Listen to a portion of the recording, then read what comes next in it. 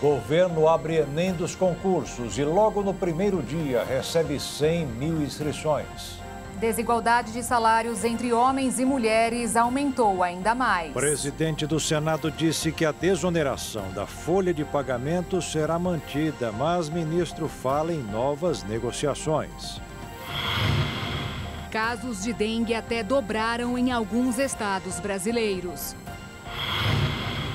Chefe militar da OTAN afirmou que a organização está se preparando para uma guerra contra a Rússia.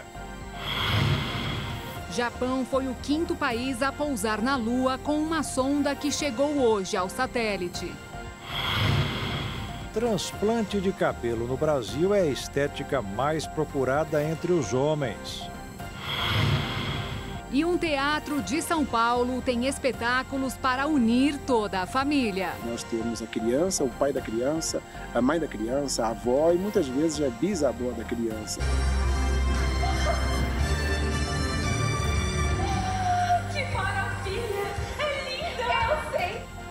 Agora no Jornal das 22.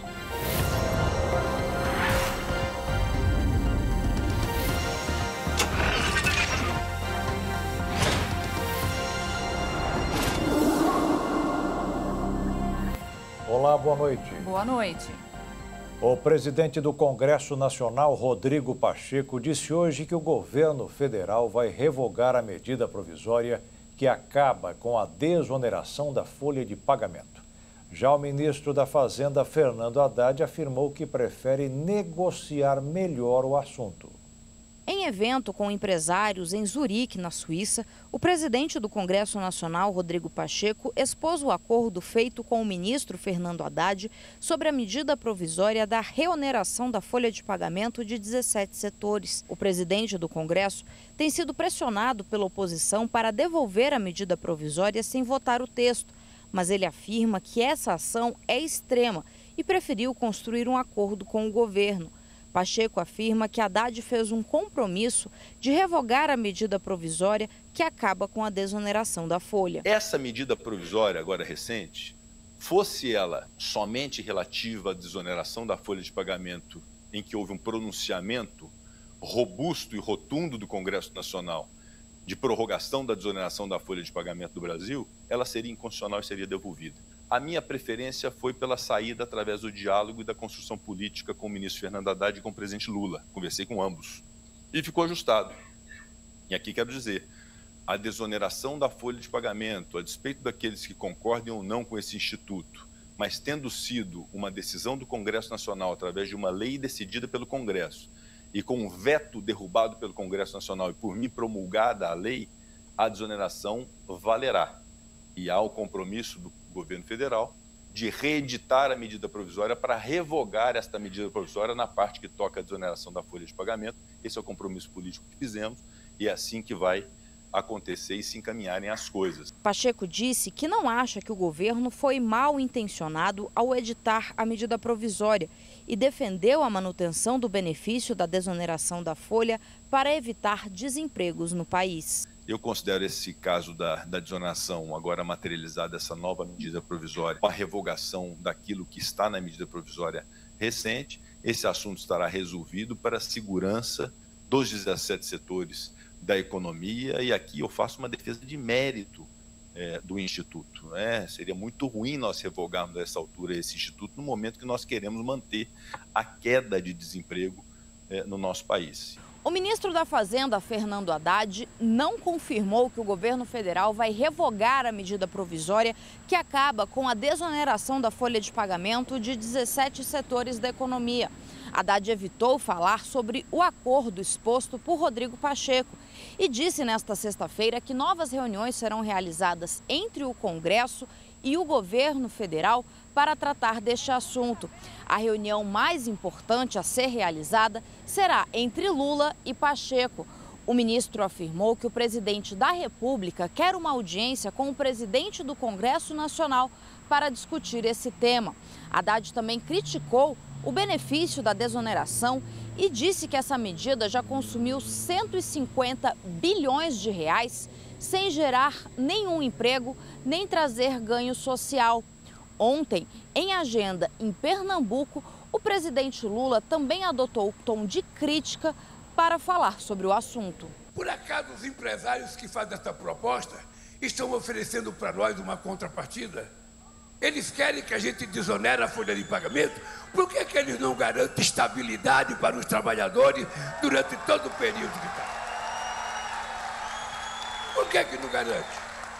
Por que, que não garante a parte do que vai lucrar com a desoneração distribuir em forma de salário para os trabalhadores? Não. Não só eles querem, só eles desejam. E esse país tem que mudar, precisa mudar. Duas mulheres morreram agora à noite em consequência de uma tempestade que está caindo em São Paulo. Mãe e filha tentaram segurar um carro que estava sendo arrastado por uma enxurrada em Limeira, no interior do estado, e acabaram debaixo dele, onde foram afogadas. Na capital paulista, os ventos fortes derrubaram árvores e a chuva intensa alagou ruas e provocou desvios de voos. Em momentos lamentáveis como este, que são reveladas situações que poderiam evitar tantos prejuízos. No estado do Rio de Janeiro, por exemplo, um bilhão de reais para obras contra enchentes estão simplesmente no cofre. Após as consequências deixadas pelas chuvas do último fim de semana no Rio de Janeiro, muitas obras de infraestrutura de combate a enchentes e deslizamentos de terra inacabadas que poderiam prevenir o caos tomaram a atenção. De acordo com o Ministério da Gestão, 10 intervenções que somam mais de um bilhão de reais em investimentos estão paradas. Nove foram iniciadas há mais de oito anos. Metade das obras paralisadas está na capital fluminense e as demais na região serrana. No pronunciamento do presidente Lula em Salvador, não faltaram críticas sobre as obras paralisadas em gestões passadas, ao lembrar da forte chuva que caiu na região metropolitana do Rio entre a noite de sábado e a madrugada de domingo. E a questão é que algumas delas, contudo, foram iniciadas ainda na gestão petista da ex-presidente Dilma Rousseff, que ficou no cargo até 2016. Das obras inacabadas, a mais antiga começou a ser executada em maio de 2012 para a drenagem e controle das cheias na bacia do Canal do Mangue, nos bairros da Tijuca, Maracanã e Praça da Bandeira, na zona norte do Rio. Além desta, outras obras tocadas pela Prefeitura do Rio, iniciadas em 2014 e que também estão paradas, são de contenção de encostas em 94 setores de alto risco de deslizamento na cidade. O governo federal tem disponibilizado na internet um painel que reúne informações de todas as obras do país. Segundo este painel, as paralisações se deram por problemas de falta de documentação e de medição do trabalho realizado, além de problemas na execução. A prefeitura respondeu que informou que as obras sob a responsabilidade dela faziam parte do PAC, o Programa de Aceleração do Crescimento do Governo Federal, e que a partir de 2016 foram criadas novas normativas relacionadas ao orçamento desses projetos, o que ocasionou a necessidade de revisão e adequações. A Prefeitura também afirmou ainda que, diante da importância dessas obras, projetos foram refeitos e agora algumas intervenções estão sendo executadas com recursos do Tesouro Municipal. A mais cara das obras paralisadas não fica na capital fluminense, mas em Nova Friburgo e está sob responsabilidade do governo do estado. Ao custo de mais de 352 milhões de reais, o contrato previa a canalização e dragagem da bacia do Rio Bengalas, que corta a região central da cidade e costuma transbordar com chuvas intensas. Segundo o governo federal, 57% do trabalho já foi concluído e a obra consumiu até o momento 202 milhões milhões de reais. A paralisação ocorreu por falta de medição do serviço executado há mais de 90 dias e por problemas técnicos de execução. Na mesma cidade, ainda está parada a drenagem da bacia do córrego Dantas, também de responsabilidade do governo estadual. Esse foi o mais atingido pelas chuvas de 2011, que deixaram 429 mortos na cidade. A obra de drenagem, orçada em 93 milhões de reais, teve início em abril de 2013 mas só 36% do serviço previsto foi executado até o momento. O painel de acompanhamento de obras do governo federal informa que a paralisação se deu por abandono da empresa contratada. São muitas as variações que acontecem no decorrer de uma obra. Contudo, nessas paralisações, é sempre a sociedade que fica à deriva esperando alguma coisa acontecer. Pelo menos 58 pessoas morreram nos Estados Unidos em razão da tempestade de inverno e o frio extremo que assola o país durante esta semana. 5 mil voos atrasaram e outros 1.400 foram cancelados. Nas escolas, as aulas foram suspensas em diversas cidades. Os norte-americanos passam por um momento difícil. Mais de 100 milhões de pessoas, número que corresponde a 30% da população do país, estão sob alertas meteorológicos de inverno. A Filadélfia poderá ter até 15 centímetros de neve e as autoridades locais prevêem que a tempestade será o primeiro grande evento de neve na cidade em quase dois anos. Devido à situação, alguns protocolos de emergência foram acionados, como, por exemplo, a limpeza de estradas regionais com mais de 400 equipamentos para retirar a neve. Nesta sexta-feira, os escritórios centrais e escolas da Filadélfia também foram fechados. Já Nova York espera até 7 centímetros de neve. As autoridades da cidade publicaram um comunicado nesta sexta-feira alertando sobre a baixa visibilidade e possíveis atrasos nas viagens. Com o avanço do frio, as equipes de emergência planejam percorrer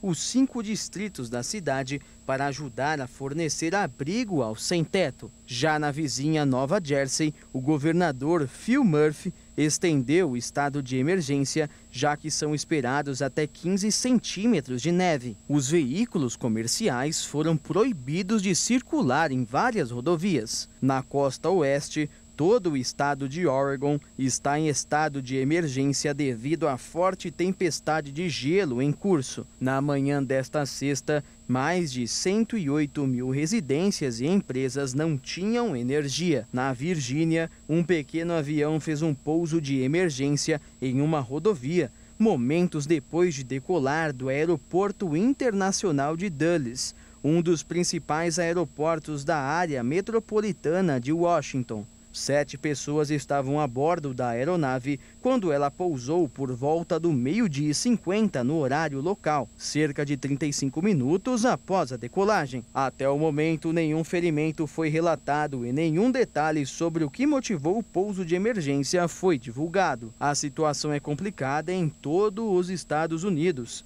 Por esse motivo, alguns dos principais distritos escolares de todo o país fecharam, enquanto outros optaram por aulas virtuais ou em horários alternativos. Em meio a tanto caos, uma notícia positiva.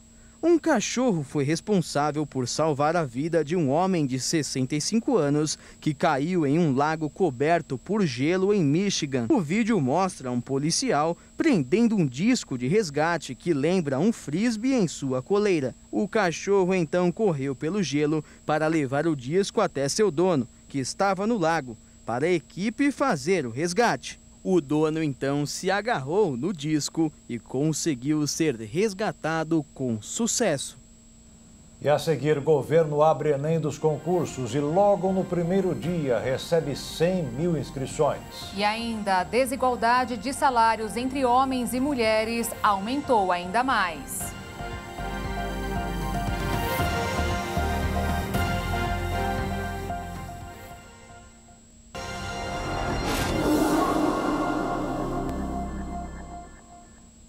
Governo abriu hoje o período de inscrições para o concurso nacional unificado. Apesar da instabilidade do sistema, a ministra da Gestão, Esther Dweck, disse que 100 mil pessoas já conseguiram se candidatar para fazer o exame.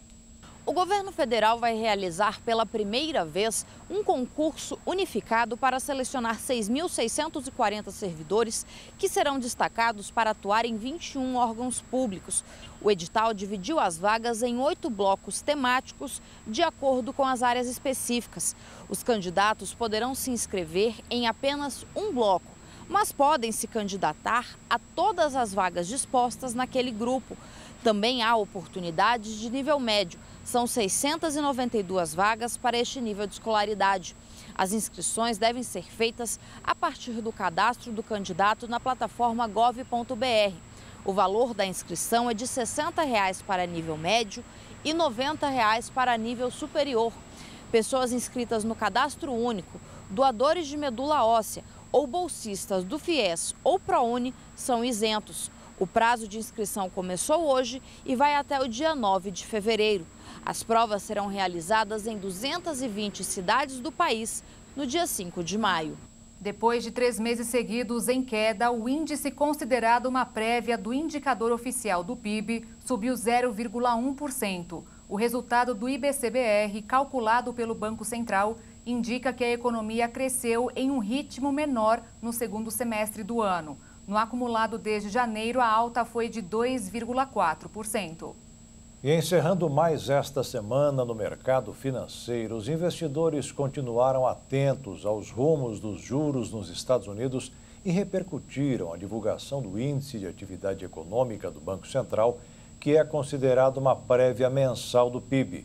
Com isso, o dólar fechou em queda de 0,08%, cotado em R$ 4,92 na venda.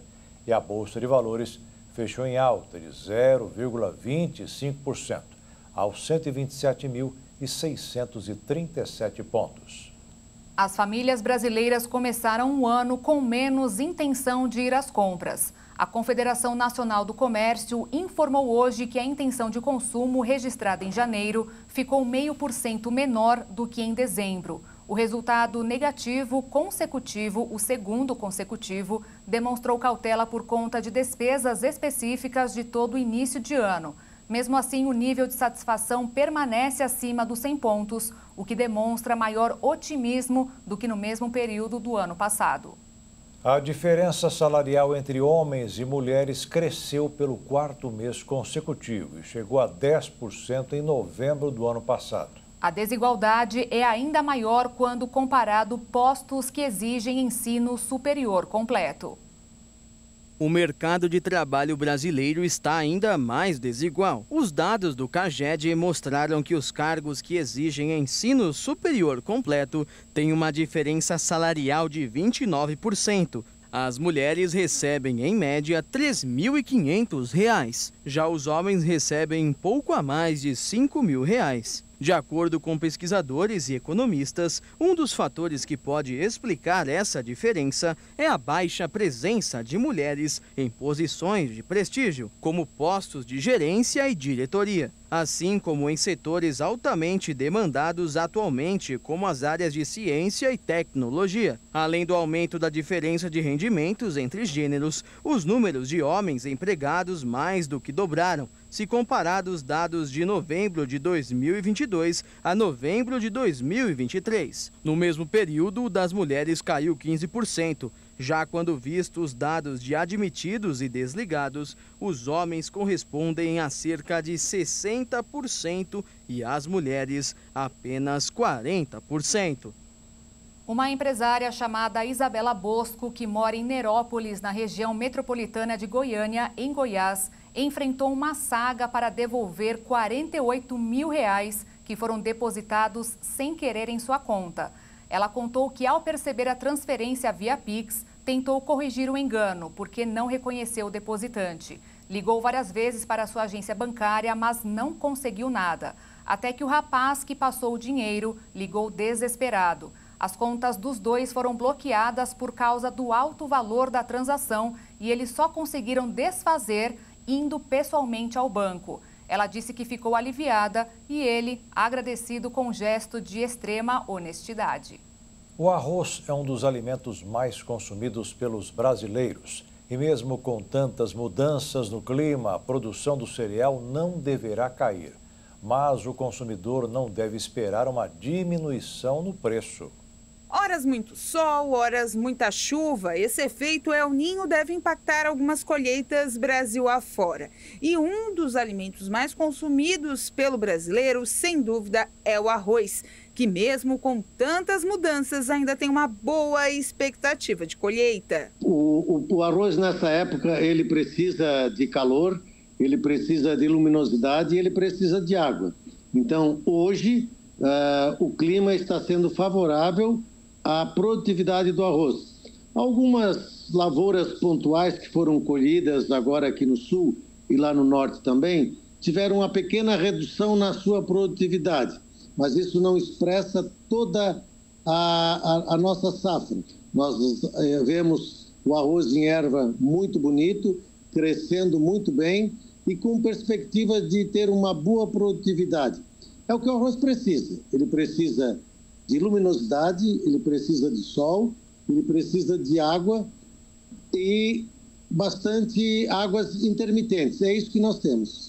Santa Catarina é o segundo maior produtor de arroz do Brasil líder em produtividade. Teve sua safra aberta nessa semana. A cadeia produtiva desse grão tem grande importância social e econômica para os catarinenses. São mais de 2 mil famílias envolvidas na produção, distribuídas em 88 municípios, cultivando cereal em cerca de 146 mil hectares. A estimativa para a safra 2023-2024 é de 1 milhão 240 44.485 toneladas.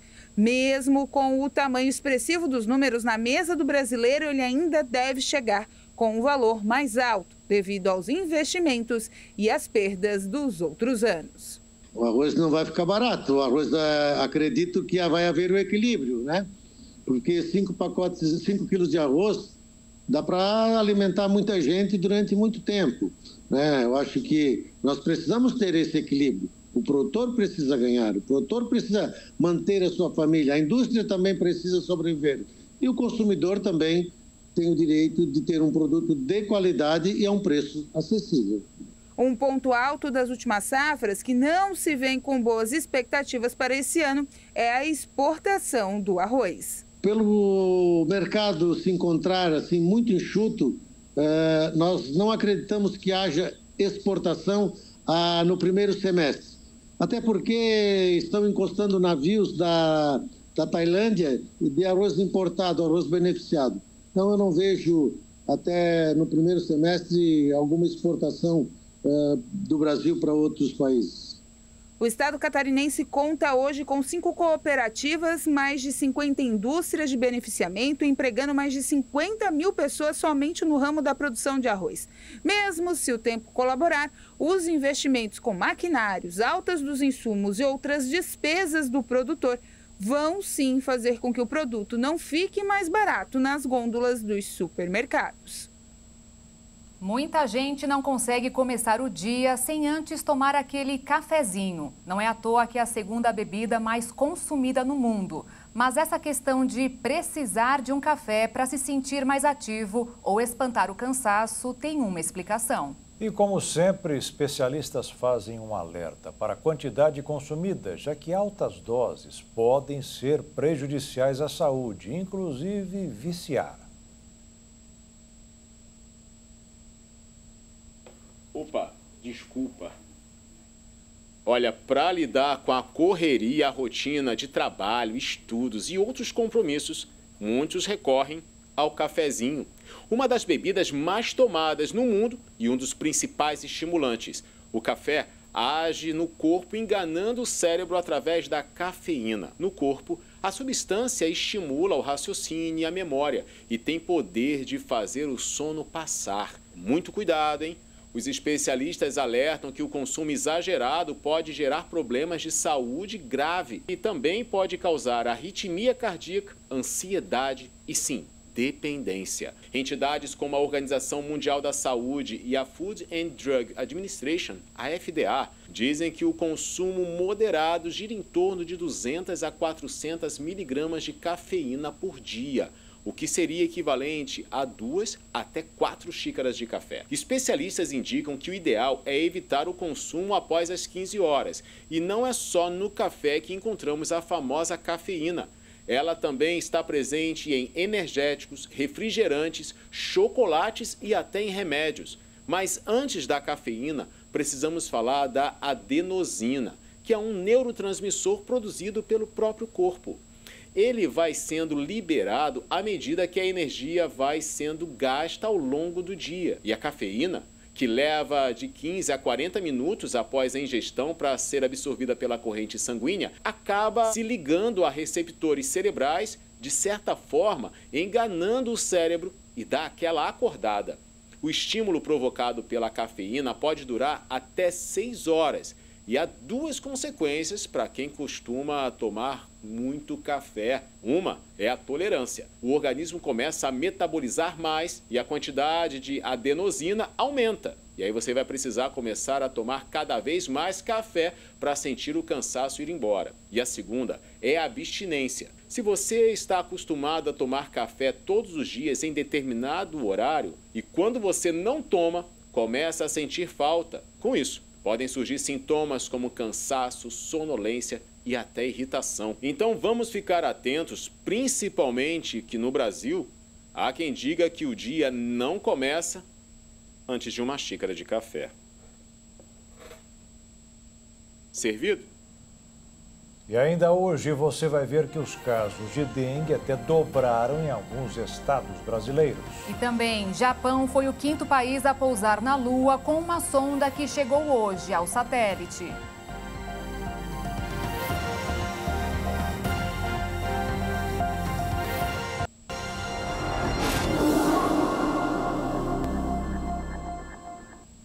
Oito estados e o Distrito Federal iniciaram 2024 com expressivos aumentos nos casos de dengue. Comparado ao mesmo período do ano passado, alguns estados apresentaram um aumento de mais de 100%.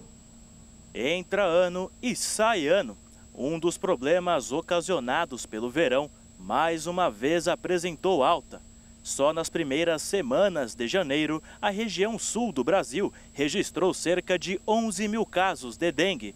O salto, em comparação com o ano passado, é 958% maior. E os casos ocasionados pela picada do mosquito Aedes aegypti não são exclusivos da parcela sul do país. A alta ocorrência nesses e em outros estados populosos, como em Minas Gerais, levou a um aumento geral de 105% do número de casos. Acre, Amazonas, Distrito Federal e Roraima completam a lista de unidades da federação em que os diagnósticos dobraram ou mais. Em outros estados, como em São Paulo, Tocantins, Sergipe e Pernambuco, os casos da doença também se elevaram na comparação com as primeiras semanas do ano passado. As autoridades preveem um patamar recorde de casos em 2024, possivelmente muito superior à máxima histórica registrada em 2015. As estimativas divulgadas em dezembro pelo Ministério da Saúde, em parceria com o grupo Infodengue da Fiocruz, são de entre 1 milhão e meio e 5 milhões de diagnósticos. Segundo os especialistas, a expectativa para este ano está associada a uma combinação de diversos fatores favoráveis à proliferação do mosquito transmissor do vírus, especialmente a intensidade do calor e das chuvas no país. Em meio à explosão no número de casos de dengue, a preocupação do governo federal é com os estados e municípios, já que não se sabe quais medidas serão tomadas para o cuidado com a população. Uma dessas medidas é a aplicação da nova vacina contra a dengue. Contudo, a quantidade atinge apenas 1% da população brasileira. O ministro de Relações Institucionais, Alexandre Padilha, teve valores das suas contas bancárias bloqueados pela Justiça de São Paulo pela falta de pagamento de uma dívida eleitoral avaliada em mais de 2 milhões de reais. Quando foi candidato ao governo do estado paulista em 2014, o ministro fechou um contrato de 1 milhão e 650 mil reais com uma agência de publicidade. A empresa alega ter recebido apenas 900 mil reais e solicitou o bloqueio dos ativos financeiros do ministro. A Justiça autorizou a cobrança em dezembro do ano passado. O ministro tentou reverter o bloqueio, mas teve o recurso negado. O visto para brasileiros entrarem na China agora é válido por 10 anos. O acordo foi feito durante a visita do ministro de Negócios chinês ao Brasil nesta sexta-feira. Anteriormente, o visto era válido por cinco anos. Além disso, o chanceler confirmou a vinda do presidente Xi Jinping para a cúpula do G20, que ocorre em 18 e 19 de novembro no Rio de Janeiro. O chefe do Comitê Militar da OTAN, Rob Bauer, afirmou que a Aliança Militar do Ocidente está se preparando para um possível conflito com a Rússia em meio à guerra na Ucrânia. O líder militar disse que o cenário de guerra é imprevisível e, por esse motivo, o grupo não está medindo esforços para reforçar seu arsenal de guerra em um possível confronto contra a Rússia e grupos terroristas. Mesmo assim, Bauer deixou claro que uma eventual guerra com Moscou só aconteceria se a OTAN fosse atacada. Em Bruxelas, sede da aliança, o militar também disse que a OTAN precisa de uma transformação bélica para o momento. Ele ainda reforçou que a Ucrânia, em guerra com a Rússia, continuará tendo apoio da OTAN no futuro, porque o resultado deste conflito vai determinar o destino do mundo. As declarações de Rob Bauer aconteceram na mesma semana em que a OTAN anunciou que vai realizar os maiores exercícios militares da aliança desde a Guerra Fria, com cerca de 90 mil soldados envolvidos. Essas atividades devem acontecer até maio. Durante esse período, serão simulados, por exemplo, como as tropas dos Estados Unidos podem reforçar os aliados europeus em países que fazem fronteira com a Rússia e no flanco oriental da aliança. Mais de 50 navios de porta-aviões a navios de guerra participarão, assim como mais de 80 caças, helicópteros e drones, e ao menos 1.100 veículos de combate incluindo 133 tanques e 533 veículos de combate e infantaria. Esses planos têm como objetivo mostrar como a OTAN responderia a um possível ataque da Rússia. Os últimos exercícios de dimensão semelhante foram Reforger durante a Guerra Fria em 1988, com 125 mil participantes, e o Trident Juncture em 2018, com 50 mil participantes. Os Estados Unidos realizaram seu quinto ataque contra o grupo rebelde Houthis. Os iemenitas revidaram e dispararam mísseis contra outro navio comercial dos norte-americanos. O clima é de tensão entre os Estados Unidos e o grupo Houthis. Primeiro, os norte-americanos destruíram dois mísseis antinavios localizados próximos ao Iêmen. De acordo com uma nota divulgada pelas forças militares do país, o exército destruiu os dispositivos, pois eles estavam apontados para o sul do Mar Vermelho e preparados para o lançamento. Os Estados Unidos ainda disseram que o ataque aconteceu como parte dos esforços do país e aliados para proteger a rota comercial do Mar Vermelho e prevenir ataques a embarcações na região já que os mísseis eram uma ameaça iminente aos navios mercantes e da marinha do país na região. Horas depois de ser atacado, o grupo Houthis respondeu com um ataque de mísseis contra outro navio comercial de propriedade dos Estados Unidos. Os dois artefatos balísticos antinavio foram lançados contra o MV Shinranger. Esse foi o terceiro ataque desse tipo a um navio de propriedade dos Estados Unidos esta semana. De acordo com o Comando Central norte-americano, a tripulação apenas observou o impacto dos mísseis na água perto do navio e não houve relatos de feridos ou danos à embarcação. Ontem, o presidente Joe Biden admitiu que os ataques contra o Houthis não estão impedindo os contra-ataques do grupo no Mar Vermelho, que, segundo ele, só vão parar quando Israel terminar a sua guerra na faixa de Gaza.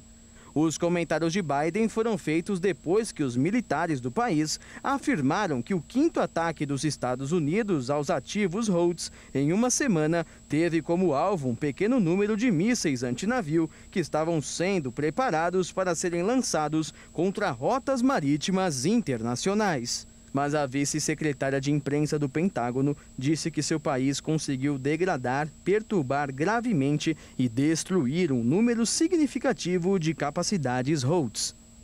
Dias após uma troca de ataques entre Irã e Paquistão, os líderes dos países abriram hoje um diálogo para tentar acalmar a situação. O medo entre as duas partes era de um possível conflito descontrolado no Oriente Médio.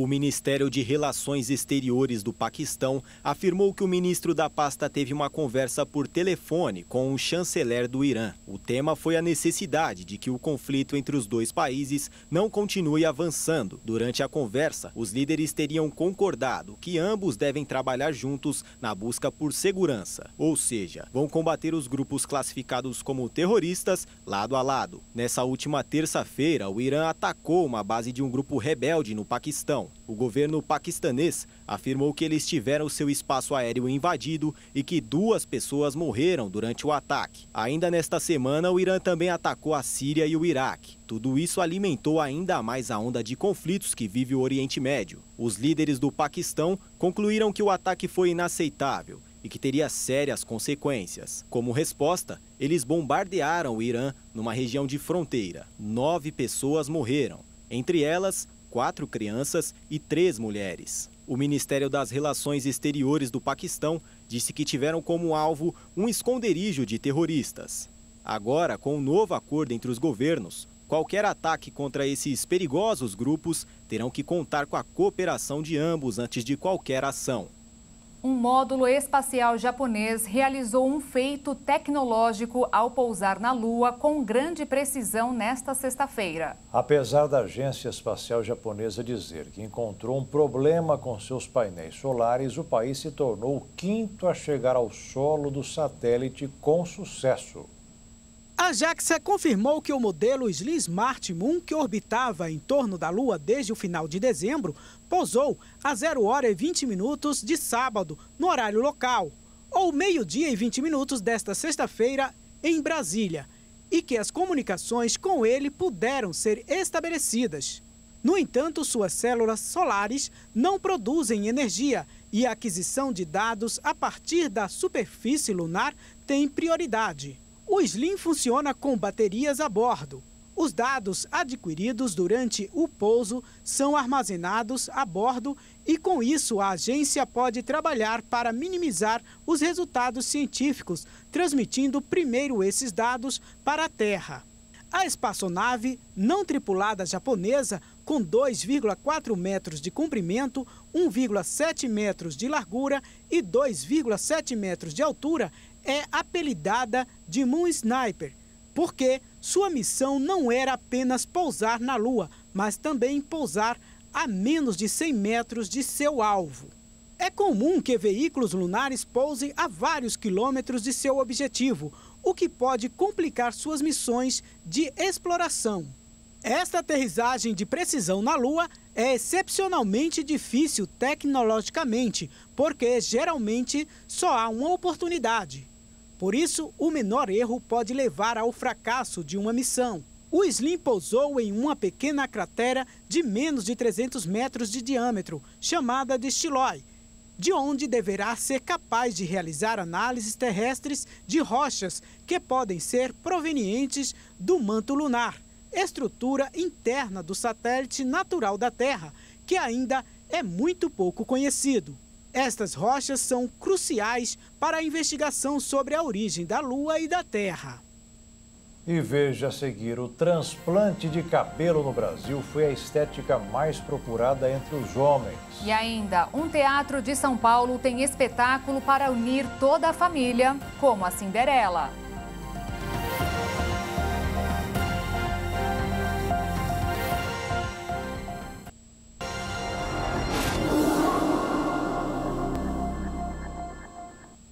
Programa Celular Seguro, iniciativa do governo federal para inibir roubos e furtos a celulares e smartphones, recebeu mais de 12 mil alertas de bloqueio no primeiro mês de operação, uma média de 393 solicitações por dia. A ferramenta permite inutilizar o celular que for roubado, furtado ou perdido, além de avisar de uma vez várias instituições parceiras do governo. Também há a opção de incluir pessoas de confiança que podem pedir o bloqueio e solicitar informações. Segundo o Ministério de Justiça e Segurança Pública, 1.234.718 usuários se inscreveram no programa desde 19 de dezembro de 2023. Foram cadastrados 954.278 números de telefone e 818.850 nomes de pessoas de confiança no período. A defasagem entre as quantidades de usuários e de telefones ocorre porque há situações em que o proprietário de celular iniciou o cadastro, mas não preencheu todos os dados, deixando de informar o número do aparelho ou contato de confiança, por exemplo, o que já era esperado, segundo o governo. Foram 5.496 alertas por roubo, 3.965 por furto, 2.529 por perda e 601 por perdidos de outra natureza, como extravio em transporte, desde o lançamento da ferramenta. O dia com mais pedidos de bloqueio foi 20 de dezembro, dia seguinte à entrada do programa em operação. O estado com o maior número de alertas foi São Paulo, com 3.288 pedidos. Em seguida aparecem Rio de Janeiro com 1.567, Bahia com 940, Pernambuco, Minas Gerais, Ceará, Amazonas, Pará, Distrito Federal e Paraná. O Ministério da Justiça informou que o aparelho que for bloqueado não servirá para revenda. Para o governo, a iniciativa oferece um caminho simplificado para bloquear as informações do aparelho celular, como aplicativos bancários, lista de contatos e fotos. A expectativa do Ministério da Justiça é que as empresas de telefonia comecem a efetuar o corte das linhas telefônicas a partir de fevereiro. O governo reforça que o celular seguro não oferece a possibilidade de fazer o desbloqueio e só deve ser utilizado em casos de emergência. Se o aparelho for recuperado, o usuário deve entrar em contato com a operadora, com os bancos e outros fornecedores de serviços. De todos os tipos de transplantes pesquisados no Google, o capilar é o que aparece em primeiro com quase metade das buscas. Isso desde 2004, quando se deu início à série histórica do Trends. Na sequência aparecem o de medula, coração, rins, córnea e fígado. A ferramenta do Google que mostra os termos mais buscados apontou que dentre os cinco tipos de transplante, o capilar representa 48,43%. Já um levantamento da Associação Brasileira de Cirurgia da Restauração Capilar mostrou que 90% das pesquisas por esse procedimento são feitas por homens. E as causas se dividem em queda de cabelo genética, queda induzida por medicamento, motivos de reconstrução e devido à necessidade de reconstrução após o uso de cosméticos. A técnica mais usada é a extração das unidades foliculares, em que ocorre a remoção dos folículos capilares da parte de trás do couro cabeludo e os implanta na área calva. O tempo do procedimento pode durar de 5 a 10 horas e por isso o paciente fica o tempo todo anestesiado. Já o valor pode variar de 10 a 30 mil reais, diferença que chama a atenção e deve ser levada em consideração pelo paciente na hora de escolher o local para a realização do transplante. O Conselho Federal de Medicina publicou um parecer em agosto do ano passado declarando que o transplante capilar é uma cirurgia que deve ser realizada por médicos, como cirurgiões ou dermatologistas e em ambientes adequados. E apesar da busca ser pela reposição ou restauração capilar, esse transplante também pode ser realizado para a barba, para ocultar cicatrizes decorrentes de traumas ou queimaduras, para a reposição de sobrancelhas ou para a diminuição da testa. Filmagens raras da Coreia do Norte mostraram dois adolescentes sendo condenados a trabalho forçado por assistirem filmes produzidos em países vizinhos. Nas imagens é possível ver que eles estão algemados no meio de um estádio em frente a centenas de outros estudantes. Com apenas 16 anos de idade, eles já estão condenados a 12 anos de prisão nos registros publicados pela BBC Korean é possível ver que os oficiais estão uniformizados e, aos gritos, pedem que os meninos façam uma reflexão sobre os seus erros. Na Coreia do Norte, toda a mídia vinda da Coreia do Sul é proibida, mas mesmo assim, algumas pessoas insistem em assistir de forma clandestina diversos filmes de drama que possuem uma grande audiência global. Esse registro dos jovens é raro, porque Pyongyang, capital do país, proíbe que fotos, vídeos e outras evidências da vida local vazem para outras regiões do mundo, mas essa filmagem da condenação foi distribuída por toda a Coreia do Norte, com o objetivo de educar ideologicamente a sua população além de intimidar o povo para que não venham consumir nada do que é feito no país sul-coreano. No passado, os menores que quebravam essa lei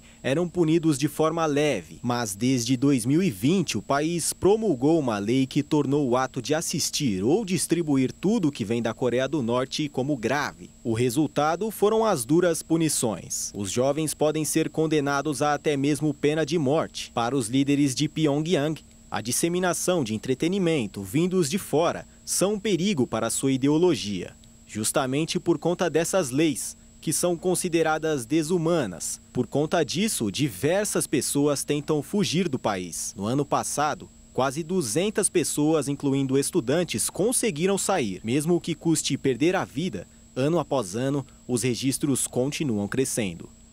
Apesar dos conflitos internacionais, a recuperação do setor de turismo na Ásia tem elevado o número de turistas internacionais e vai ultrapassar em 2024 o nível pré-pandemia. Cerca de 1 bilhão e 300 milhões de turistas viajaram para o exterior no ano passado, em torno de 44% a mais do que em 2022. Segundo a agência da ONU com sede em Miami, o número equivale a 88% do nível em 2019, antes da pandemia. A recuperação do ano passado se deveu a um forte impulso no Oriente Médio, onde as chegadas de turistas superaram seu nível de 2019 em 22%, mas também na Europa, o principal destino turístico do mundo, onde a atividade alcançou 94% de seu nível pré-pandemia. Na Ásia, a recuperação foi mais fraca. O número de turistas internacionais se limitou a 65% do nível de 2019 apesar do levantamento das restrições sanitárias há um ano na China, após três anos de uma política de Covid-0. A expectativa é que nesse ano o nível de turistas vai ultrapassar os 2%. Segundo a agência da ONU, a atividade vai se beneficiar do aumento do turismo na China, graças à flexibilização do regime de vistos para muitos países e as viagens de cidadãos chineses para outras partes do mundo, mas a previsão poderá ser afetada pela turbulência econômica e geopolítica, especialmente no Oriente Médio, onde o turismo deve ser afetado pelas consequências do conflito entre Israel e o Hamas. A inflação, as taxas de juros elevadas, os preços voláteis do petróleo e as perturbações no comércio também podem continuar impactando os custos de transporte e alojamento em 2024. Existem alguns lugares em quase todas as cidades onde é possível encontrar relíquias culturais, mas que passam desapercebidos. Em São Paulo existem vários, como um teatro com várias peças adaptadas para um público bem específico. A família tem lugar para todos. Inaugurado no dia 16 de agosto de 2019, o Teatro Liberdade tem se destacado como um dos ambientes mais aconchegantes de São Paulo para se ver uma peça. Parte desse conforto vem de sua nova estrutura, que se renova com frequência e também pelos serviços prestados ao cliente. Essas inovações, somadas a um ambiente confortável, é considerado o segundo maior teatro de rua da capital paulista. Os seus mais de 900 lugares demonstram sua capacidade. Mas o seu começo não foi como a gestão esperava. E logo de 2019 até março de 2020 é um processo de arranque e aí quando se inicia o arranque mais sólido vem a, a pandemia, né? Mas a gestão de Manuel conseguiu lidar de uma forma mais consistente e o Teatro Liberdade passou a se estruturar pensando no pós-pandemia. Nós fomos o primeiro teatro de, do Brasil a arrancar com um Broadway em 2021 e daí até hoje nunca mais paramos.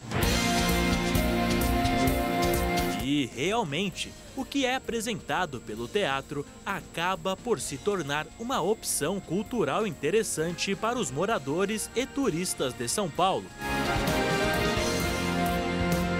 olha que sua programação é considerada eclética, ou seja, agrada diversos tipos de gostos.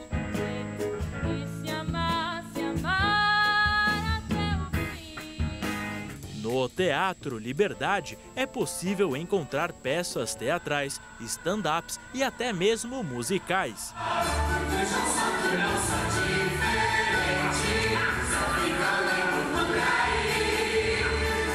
Essa junção faz com que as programações atinjam do público infantil até os idosos, passando por todas as gerações.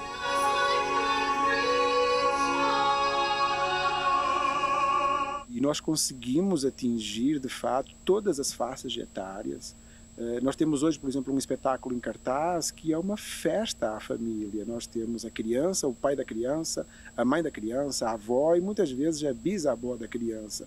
E que todos desfrutam de um conteúdo fantástico.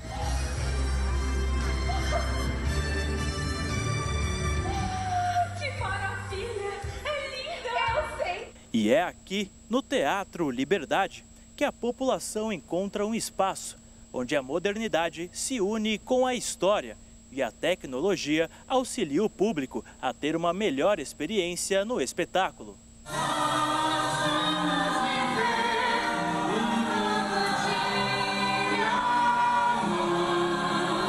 Tudo isso com pensamento sustentável Manuel explica que o espaço sempre busca garantir uma filosofia ecológica. Então, isso é um cuidado muito grande que nós temos hoje, tecnicamente, em relação ao público.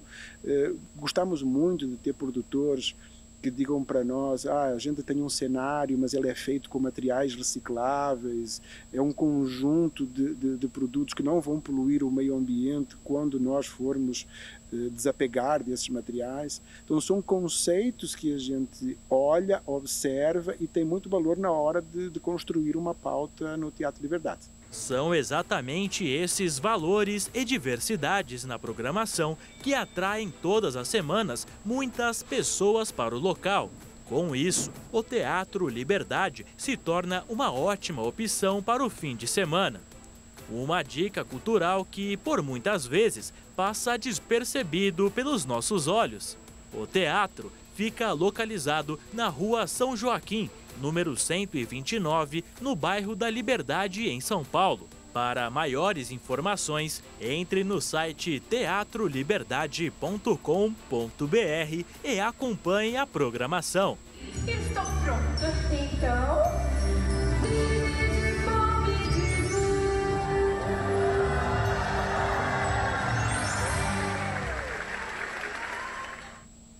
E o Jornal das 22 termina aqui. Obrigada pela sua companhia. Um ótimo fim de noite, fim de semana para você. Se cuida e até segunda. Boa noite, fique na paz. Tchau.